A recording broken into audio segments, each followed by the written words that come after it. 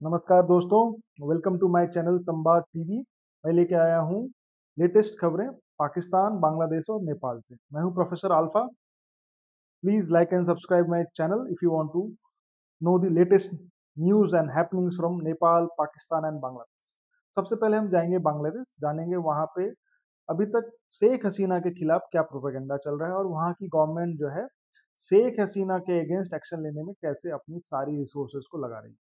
फिर हम जाएँगे नेपाल, जहाँ पे मारवाड़ी समुदाय के अगेंस्ट में जो आंदोलन चल रहा था, बालेन का। बालेन जो काठमांडू में मेयर है, उसका क्या हो रहा है? और अल्टीमेटली हम लोग जाएँगे पाकिस्तान में, जहाँ पे रिसेंटली जाकिर नायक ने खूब सारा रायता फैलाया। है आप लोगों को जान के हैरानी होगी, जाकिर नायक साहब वहाँ पे स्टेट गेस्ट बन के गए थे और उन्होंने जम के रायता फैलाया है।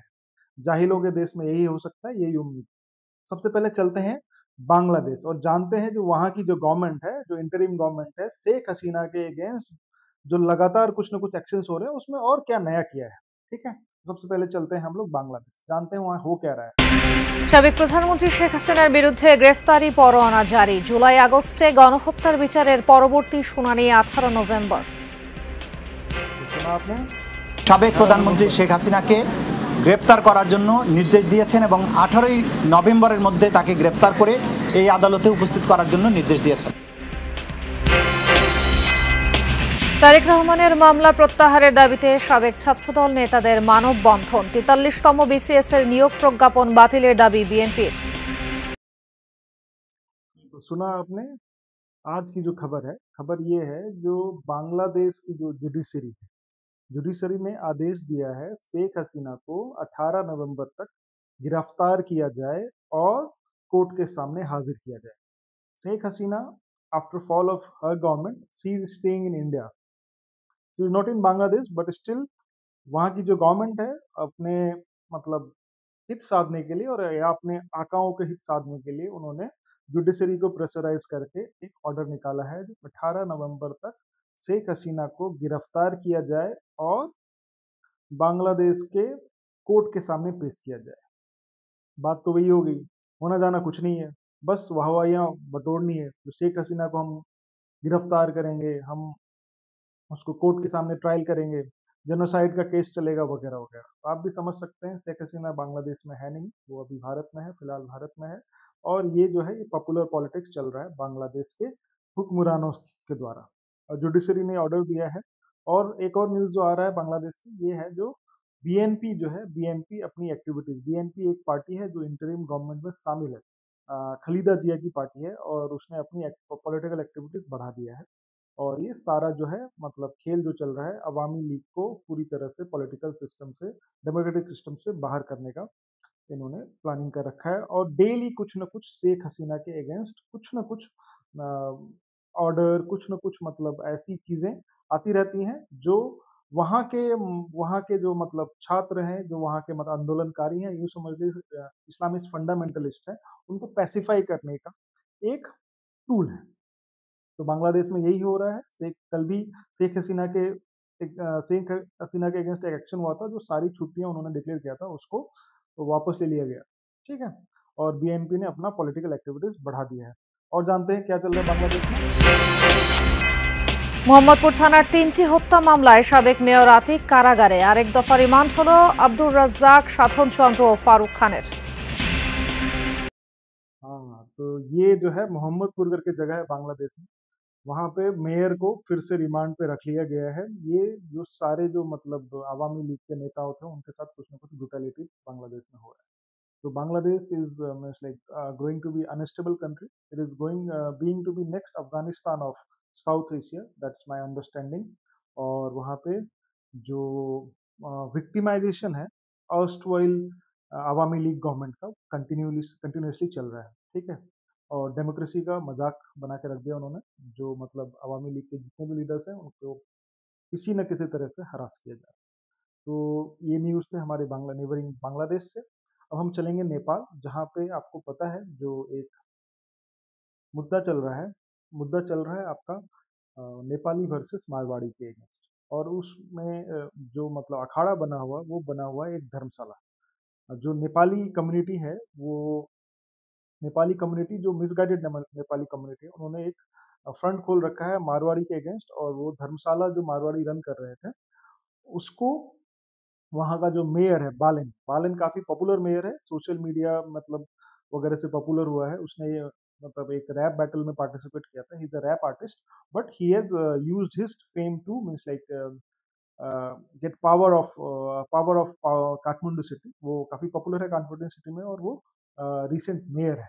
और उसने मतलब uh, क्या किया? जो किसी तरह से लाइमलाइट में रहने के लिए is a good mayor by the way but he wanted to means like use the sentiments of Nepali community against Marwari community to gain his popularity उसने, उसी चक्कर में एक धर्मशाला जो मारवाड़ी कम्युनिटी सोशल वेलफेयर का काम कर रही थी, उसको उसको जो है वहाँ से मारवाड़ी कम्युनिटी के ऑक्यूपेंसी से हटाने की कोशिश उसने स्टार्ट कर दी।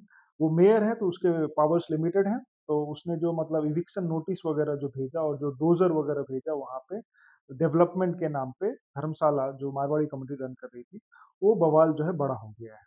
तो बेसिकली जो बड़ा खबर जो आ रहा है, नेपाल से वही है। सुनते हैं क्या चल रहा है नेपाल परिषदको बैठक कस्तै बाढी पहिरो प्रभावितहरूका लागि विभिन्न नीतिगत निर्णयहरू गर्ने तयारी। तत्काल पुनर्निर्माण र पुनः व्यवस्थापनका काम अघि बढाउने प्रधानमन्त्री केपी शर्मा ओलीको भनाई, कोही पनि राहत पाउनबाट वञ्चित पशुपतिनाथको स्वामित्वको धर्मशालामा काठमाडौँ महानगरका मेयर बालेन्द्र शाह बालेनले राखे नयाँ बोर्ड प्रहरीको घेरा तोडेर अघि बढे। गौशाला स्थित धर्मशालामा रहेको अनाधिकृत संरचना हटाउन भन्दै गएको काठमाडौँ महानगरपालिकाको टोलीको दुईवटा डोजर प्रहरीले नियन्त्रणमा लियो। काठमाडौँका एसपी भन्छन् शान्ति सुरक्षा कायम गराउन मात्र खोजेका हौ।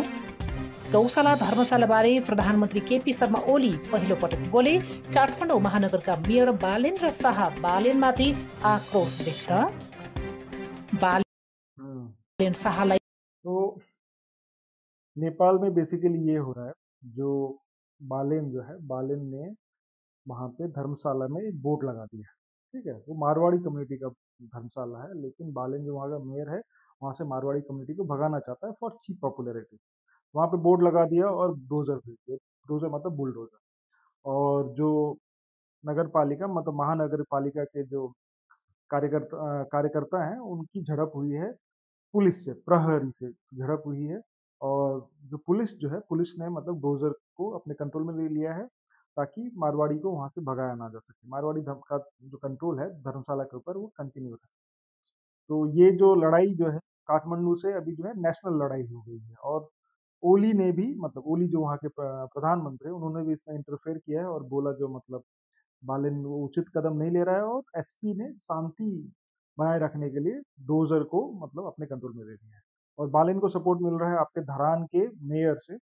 वो कह रहे हैं जो मतलब फेडरलिज्म के लिए मेयर को नेसेसरी फ्रीडम मिलना चाहिए। तो ये है खबर नेपाल से। नेपाल में आप समझ ही रहे हैं जो क्या है, जो मतलब कुछ भी चीप पॉपुलैरिटी चाहिए वहाँ के नेताओं को तो वो क्या करते हैं मधेसी या फिर मारवाड़ी कम्युनिटी, बिज़नेस कम्युनिटी उसको टारगेट करते हैं और बोलते हैं जो इसी ने हमारे देश को रीन किया है। तो ये वहाँ की पॉलिटिक्स है। तो अभी आपको हम ले चलते हैं। पाकिस्तान, हमारा मतलब सबसे प्रिय मित्र पाकिस्तान, वहाँ पे हमारे जाकिर नायक साहब पहुँचे हुए हैं और वहाँ पे क्या खबर है? छब्बीसवीं आईनी तरमीम पर बड़ा ब्रेक थ्रू आईनी तरमीम नहीं, आईनी बेंच पर इतफाक हो गया। मुस्लिम लीग नून और पीपल्स पार्टी आईनी अदालतों के क्याम से पीछे हट गई। दरा के मुताबिक हुकूमत और जे यू आई ने मुश्तर मुसविदे पर पी टी आई से मुशावरत का फैसला कर लिया। मौलाना फजलरहमान हतमी मुसविदा पी टी आई क्यादत के साथ शेयर करेंगे। खसूसी कमेटी का इजलास कल दोबारा होगा। खुर्शीद शाह ने कहा कि एक दो दिन में आईनी तरमीम के हवाले से इतफाक राय हो जाएगा। कमेटी में मौजूद पीटीआई के लोग बेबस हैं। इरफान सदीकी बोले, आईनी तरमीम पर इतफाक राय के लिए मुशावरत जारी है। शहरी रहमान ने कहा कि पीपल्स पार्टी और जे यू आई का इतफाक हो गया। एम के एम रहनुमा फारूक सत्तार बोले, पार्लियामेंट की बालादस्ती के लिए अदालती असलाह पर कामयाबी ज़रूर मिलनी चाहिए।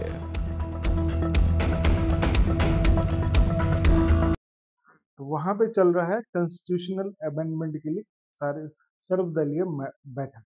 वहाँ की जो पार्टियाँ हैं, जैसे नवाज़ शरीफ की पार्टी है, बिलावल भुट्टो की पार्टी है, एम है, अल्ताफ की पार्टी और पीटीआई है जो इमरान खान की पार्टी है। सारी मतलब ऑल पार्टी मीटिंग्स में कॉन्स्टिट्यूशनल अमेंडमेंट पे एक कंसेंसस बनाने की कोशिश चल रही है। न्यूज़ तो पाकिस्तान में बहुत सारे हैं।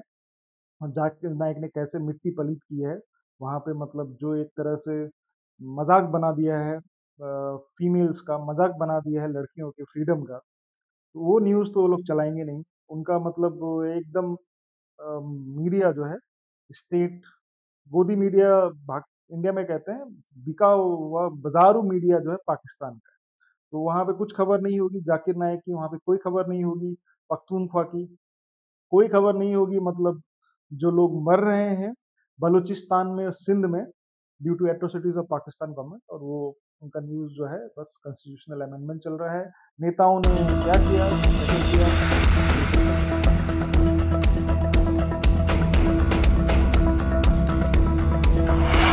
आईनी तरमीम पर मुशावरत के लिए वजी अजम शहबाज शरीफ की सदर आसिफ अली जरदारी से हाँ मुलाकात। ऐवान सदर में होने वाली आईनी तरमीम से मुतल अमूर पर मुशावरत। मुलाकात में मुल्क की मौजूदा सियासत तो प्रेसिडेंट और प्राइम मिनिस्टर की मीटिंग हुई है, कॉन्स्टिट्यूशन में कुछ अमेंडमेंट करना है, वगैरह वगैरह। तो यही न्यूज़ है हमारे पड़ोसी मुल्क पाकिस्तान से। I thank you all for joining my news update on South Asia please let me know what kind of news and what kind of videos you want regarding our neighboring countries. Thank you for joining my videos. Namaskar.